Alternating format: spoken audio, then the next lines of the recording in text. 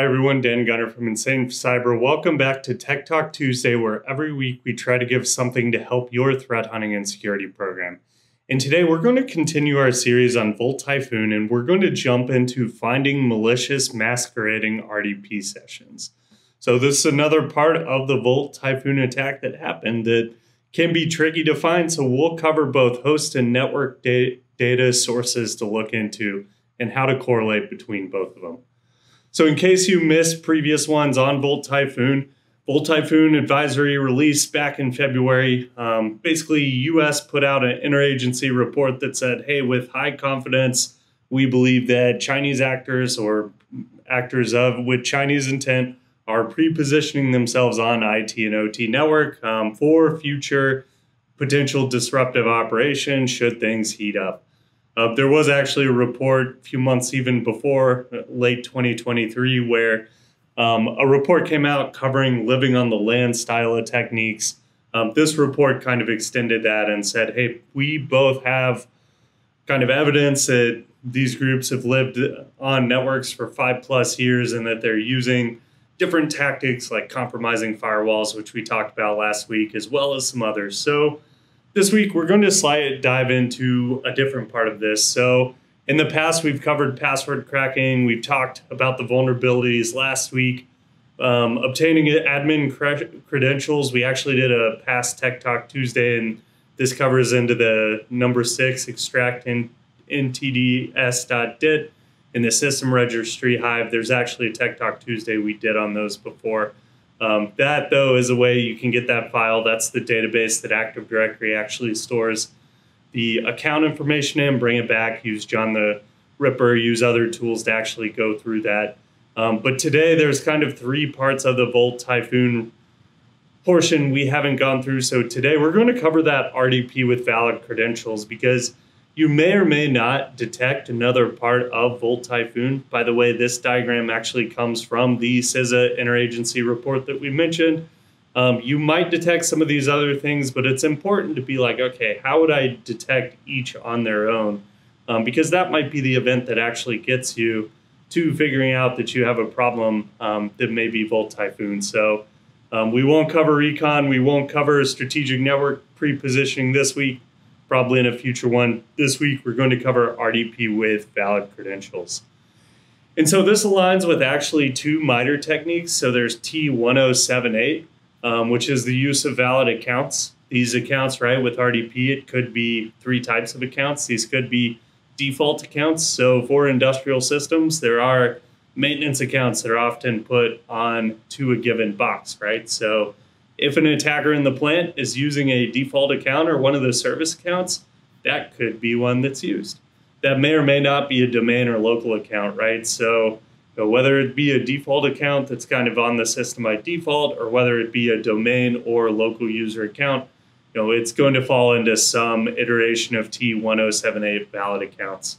It's also going to fall into T1021.001. This is the use of the remote desktop protocol which, by the way, um, the group that's behind Volt Typhoon, there are also a lot of other groups that like to use this. They're not alone on this. Everyone from APT 3941 to Lazarus to OilRigs. So, a lot of different groups that are aligned with the different interests of different countries. Um, so, again, this is actually a good one to kind of talk through and know about. So, when we jump into how do we find this on network data, one of the ways we can start is with Zeek. One of the ways to do this, especially with the newer RDP variants, is they use SSL. Um, if you look at Zeek's documentation, they actually have some solid examples. So the screenshots we pulled out are actually from Zeek's um, documentation, but with the newer RDP variants, um, there's cert information that can point you to RDP. Um, Newer RDP does use SSH in a lot of places. This makes it challenging to maybe see some of the other information on what's going on. But again, the SSL log is one place you might find it. One way of doing it is if RDP is on 3389, the standard port, um, you can look at cert information, right? If you look here on the left, you see the subject and issuer generally ends up being the host name of the Windows box. It's tied to port 3389. Um, the subject and issuer and both, like we said, um, line up there. You can line up actually the SSL log with the X509 log. So the X509 log is actually the certificate. If you see in that X509, the bottom left, you have the ID. That ID in the top left for the SSL log is in that cert chain fuids. And so when you talk about correlating these logs manually, um, this is what it looks like. So you actually will need both SSL log and the X509 log to get both, um, or you can see subject and issuer often is in both. Um, but yeah, this is one way to do it is to look for port 3389 with cert information.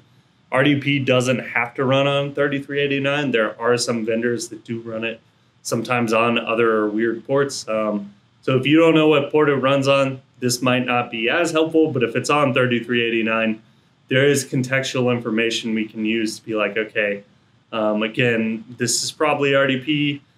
Should this be happening between these two boxes, right?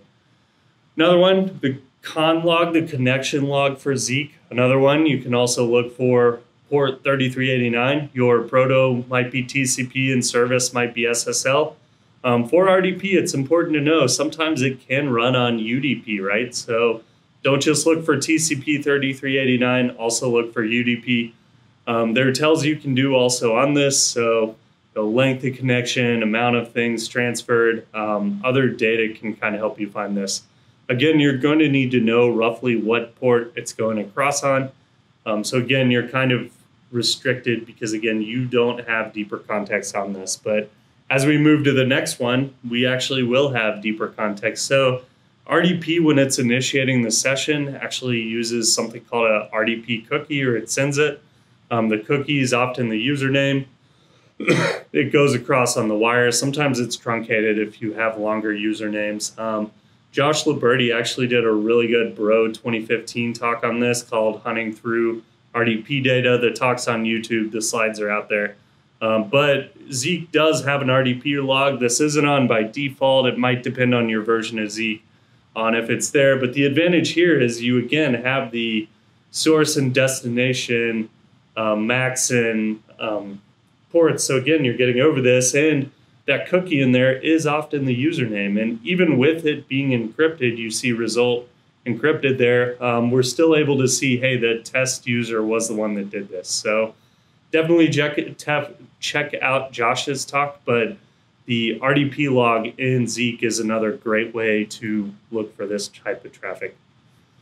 So how do I know if the session's malicious, right? A lot of these logs only looked for the fact that the session happened. Um, figuring out is it malicious, and especially if you have a lot of RDP sessions, you know, there might be some challenge there, right? And so that's where you have to bring in that connection context, right? Um, source information on does this source talk to this destination? When should they talk? Um, is this one that an admin or that some given account usually should RDP from? In Volt Typhoon, I think they were using admin level RDP, right? And so looking at your admin accounts look closely, looking at those service accounts, right? We were talking service accounts earlier. Um, the context of the account, right? Because an attacker might just have the account on your network, they might not have the contextually proper account to do that, right? So you might see kind of a break in context there, especially when you bring in time of day, operational need, that type of deal.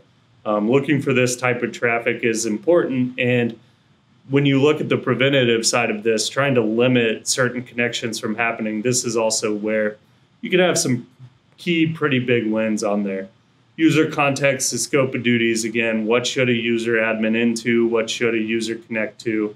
That's all important. Um, you could even go a little further as you're digging into a given user and say, what did that connected user do? What were were there any EDR alerts, other things that went on that might point out this is malicious, right? But at that point, you're kind of starting to peel away the onion to see if this is malicious there that's the network side. Now moving to the host side. Um, another one that we've done uh, Tech Talk Tuesday on is 4624 login events.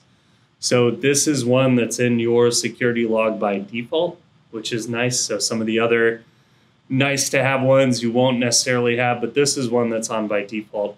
looking for your login type of 10 for remote interactive. This means the user came in via terminal services or remote desktop or 12, right? It cached remote interactive, right? This might be used for internal auditing, as it said. But the advantage here is if you have this either streaming into an instance you're looking at, or if you need to go to the host, you have the username and IP information that gets pulled out. This is something we actually pull out a lot because, um, like for this event, right, knowing, hey, a user remotely connected with the admin account did this, it's going to be in this log. And again, type 10 for terminal services or remote desktop. And again, timeline analysis. And if you have host data, the advantage is you can go into some of the other logs. And some of these logs might not be enabled depending on what your audit settings are. Um, hopefully, some of them are. If you're in certain environments like uh, government where they have like DISA STIGs and other things, then um, for government systems, some of these will be there, right? For other vendors, they have they're similar of hey, let's turn on this type of auditing. We know asset owners too that actually use Sysmon and collect it, and so um, depending on the plant you're at, depending on you know how forward thinking some of the groups are, you might be able to get into scheduled tasks. You might be able to get into the PowerShell event logs that have the command line. You might be able to see then that ntds.dit and other behaviors. Again, that's someone trying to collect the Active Directory user database use it before, right? Um, the thing to point out with Volt Typhoon is that these attackers triggered several attack technique behaviors. And so, again, you know, bringing in data and being able to process it super important um, because if they're not deleting it out, they're probably not modifying. Um, the most they do is delete the data out, most likely. Um, some attackers might modify, but you get into different complexities. So, again, we covered the RDP with valid credentials. Um, this was one kind of center that you see in there we hadn't covered. But again, going back to it, right, when you look at Volt Typhoon, there were a lot of different steps that they took during the attack. And so being able to capture each and learn from each different step is key. Because again, that might be the step that actually gets you to where you can either move forward or back in the progression and begin to dig up what's happening underneath. So, thanks for tuning in this week. Again, we wanted to cover Volt Typhoon and the RDP portion and how to find that both in host and network logs. If you have any thoughts, please drop them in the comments below. If you have ideas for future Tech Talk Tuesdays, we'd love to hear them. And we hope to see you back next week. Thanks a lot.